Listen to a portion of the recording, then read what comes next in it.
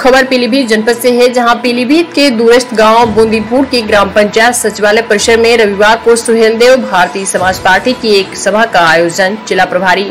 हरेंद्र राजभर की अध्यक्षता में किया गया, जहाँ बतौर मुख्य अतिथि अजय राजभर, विशिष्ट अतिथि युवा मोर्चा जिला अध्यक्ष अनीस अहमद अंसारी तथा जिला महासचिव अमर भारती मौजूद रहे। भाजपा के सहयोगी दल के रूप में कार्य कर रही सुहेलदेव भारतीय समाज पार्टी के पदाधिकारियों ने पार्टी की नीतियों, सिद्धांतों और मुद्दों के बारे में विस्तार से जानकारी देते हुए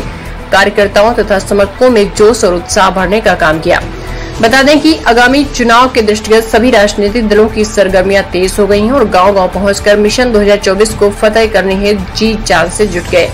इसी क्रम में सुहेल देव भारतीय समाज पार्टी के पदाधिकारियों ने दूरस्थ गाँव बूंदीपुर में एक सभा कर स्थानीय जनता की समस्याओं, बिजली, पानी, रोड, शिक्षा, स्वास्थ्य आदि समस्याओं को सुना।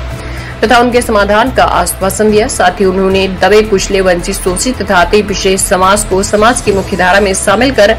उनका हक, अधिकार, सरकारी सुविधाओं व योजनाओं को दिलाने की बात करते हुए एकजुट होकर पार्टी को मज़बूत करने का आह्वान किया। इस दौरान प्रदेश सचिव अजय राजभर ने मतदाता पेंशन एक समान, अनिवार्य, निःशुल्क शिक्षा, बिजली, बिल, माफ़ी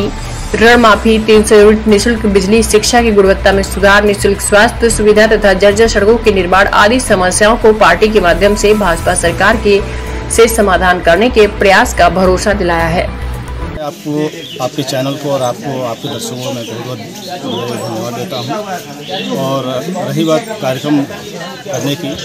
तो सुहेलदेव भारतीय समाज पार्टी पूरे उत्तर प्रदेश में गाँव गाँव जाकर के जनचौपाल लगा करके और अपने संगठन को मज़बूत कर रही है। जो 2000 आगामी जो 2024 का चुनाव हो, उसकी तैयारी के लिए हम लोग गाँव गाँव और हर नुक्कड़ सभाओं का कार्यक्रम कर रहे हैं।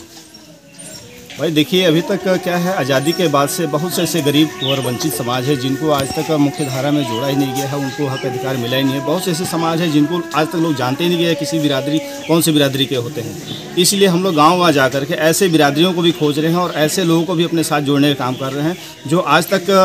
आज़ादी के बाद से अपने हक अधिकार जो भी सरकारी सुविधाएँ उनको नहीं पहुँची है उनको जा करके बताने के जागरूक करने का प्रयास कर रहे हैं कि आप हमारे साथ जुड़िए। जो भी सरकार द्वारा योजनाएँ चलाई जा रही हैं उसको हम आप तक पहुँचाने का प्रयास करेंगे। देखिए हम हम चाहते हैं कि एक सामान्य अनिवार्य फ्री शिक्षा लागू हो। देश में जब संविधान एक है प्रधानमंत्री एक हैं तो सम, जो शिक्षा का व्यवस्था है वो भी एक होना चाहिए। और उसके साथ साथ हम लोग चाहते हैं कि गरीबों के साथ जो भी भेदभाव हो रहा है, उनको हटाया जाए और सबको एक समान इलाज दिया जाए, जो आज गरीब किसी बीमारी के वजह से पैसे का अभाव में मर जा रहा है तो ऐसे सिस्टम को दे करके हम लोग चाह रहे हैं कि एक लाख से लेकर दस लाख तक के जो भी खर्च इलाज के लिए आता है, उसको हम लोग उनको दे करके और ऐसे व्यक्ति को हम लोग इलाज करा के उसको सुविधा दिया जाए। आप देखिए, जो हमारी पार्टी 2017 में गठबंधन हुआ था और कुछ मुद्दों को लेकर के पार्टी हमारी बीजेपी के साथ गठबंधन की थी, जो नहीं पूरा होने की वजह से माननीय राष्ट्रीय अध्यक्ष हमारे आदरणीय श्री ओम प्रकाश राजभर जी ने गठबंधन तोड़ दिया था। लेकिन आज पुनः फिर उन्हीं मुद्दों को लेकर के, जैसे सामाजिक न्याय समिति की रिपोर्ट हो गई और भी जो गरीबों के इलाज के संबंधित हो गया, गाँव में जैसे बिजली, तीन सौ यूनिट बिजली फिर देने की बात है ऐसी बहुत सी योजनाएँ हैं जिनको लेकर के बीजेपी के साथ हमारा फिर से गठबंधन हुआ है और इन्हीं मुद्दों को उन्होंने आश्वासन दिया कि आप हमारे साथ आइए और हम इन योजनाओं को